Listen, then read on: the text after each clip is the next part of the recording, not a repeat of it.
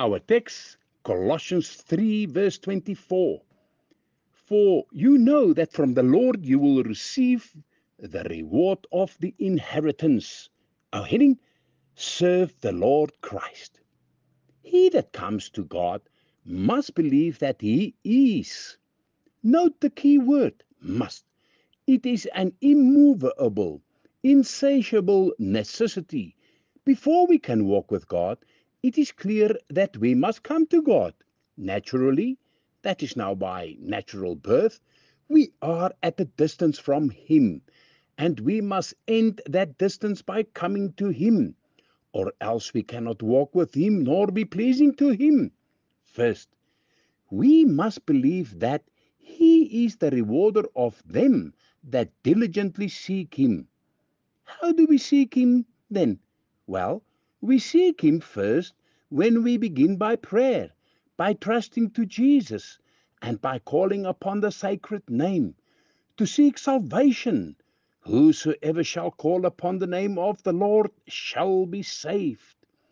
That is a grand promise, and it teaches how to come to God, namely by calling upon His name. Afterwards, we see God by aiming at His glory, by making Him the great object for which we live. One man seeks money, another seeks reputation, another seeks pleasure, but he that is pleasing to God seeks God as his object and end. Didn't Jesus say, Seek ye first the kingdom of God and his righteousness, and all these things will be added unto you? Second, do I, as a believer, live to please God? Well, we need personal heart searching on this point, everyone for himself. The believer in the invisible God delights to act as in his sight and in secret to serve him. If you once learn to believe God, to trust in Him, to please Him, you are coming to Him day by day. You not only come to Him and then go away from Him as in acts of prayer and praise and go to church, but you are always coming.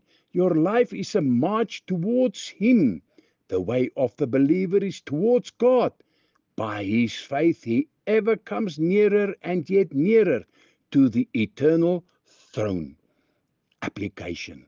What is this reward? Why, he that sits on the throne will say, Come, you blessed of my Father, inherit the kingdom prepared for you from the foundation of the world. Come, and I pray, Father God, grant us never to stop coming. In Jesus' name,